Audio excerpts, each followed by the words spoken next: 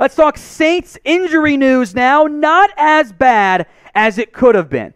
Marcus Davenport suffered a pectoral injury later in the game in week one. A very impressive performance, mind you, out of the Saints in their win over the Green Bay Packers. The good news for Davenport, it is only a strain, not a, emphasis on this next word, full fledged tear. Technically, a strain is a tear, but it's not like a complete torn pectoral.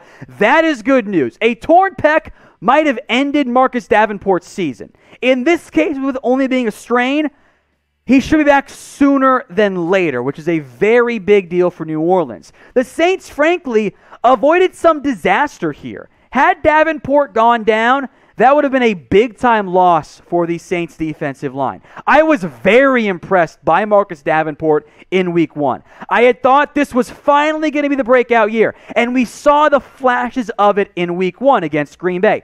Three tackles, two tackles for loss, one sack, and a quarterback hit. Now, obviously, Davenport was never going to produce that level every single week.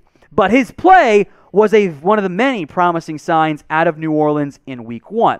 Now, in the short term, assuming Davenport does miss at least a little bit of time, I think Carl Granderson and, and uh, Tanoh Kpassagnon are the next men up at defensive end.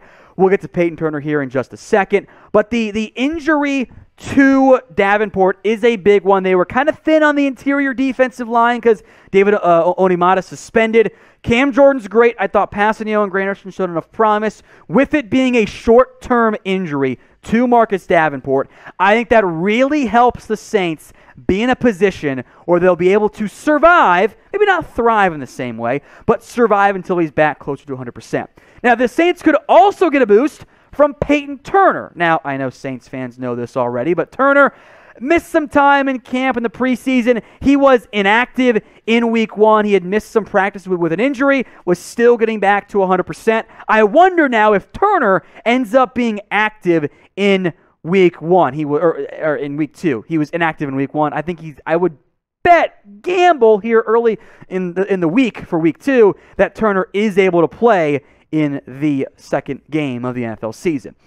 They also, of course, lost Marshon Lattimore. That injury viewed to be more of a week to week one. So we'll see what ends up happening for Marshon Lattimore in terms of when he's able to make his return to the Saints. Of course, he got the bag in a big time way right after that game ended as well. So decent timing there for Marshon. Now, there were several major injuries across the NFL, for the Saints and other NFL teams. So, what do you guys think? Who had the biggest, I'll go with most impactful, week one injury? What player got hurt that you just went, damn, that really, really sucks? Get your votes in for me right now in the comments section.